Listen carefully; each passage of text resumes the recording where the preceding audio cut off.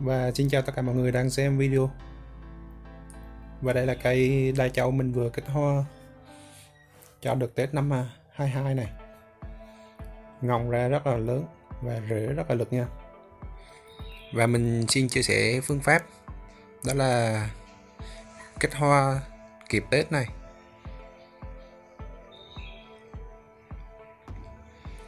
Và xin giới thiệu đây là sản phẩm kết hoa NPK 63030 là dạng phân bón lá. Về hướng dẫn sử dụng thì đối với cây bông hoa cây cảnh thôi, thì mình dùng 1 gram trên 1 lít nước. Loại này có thể mua ở tiệm vật tư nông nghiệp, hoặc là nếu ở Sơn Hoa thì ra cửa hàng nông nghiệp xanh ở đầu dọc võng để mua nha. Và mình dùng với bình phun 2 lít nước.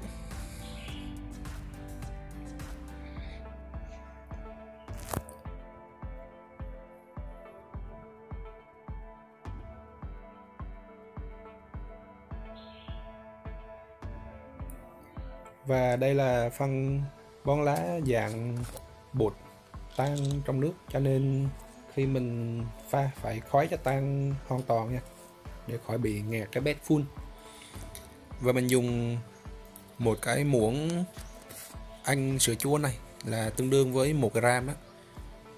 Và mình dùng một muỗng thôi, một hoặc hai muỗng. Và bên cạnh đó mình còn hỗ trợ thêm, đó là B1 của một dạng phân bón lá.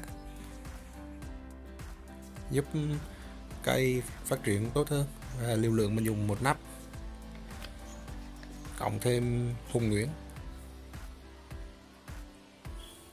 hai giọt, ba giọt cho 2 lít nước.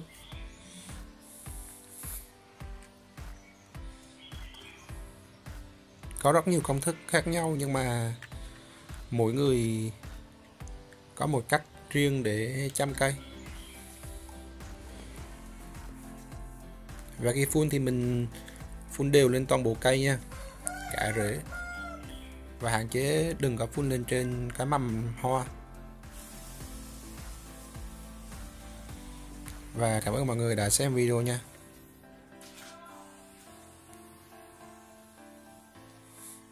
Xin chào tạm biệt. Đừng quên đăng ký để ủng hộ mình nhé.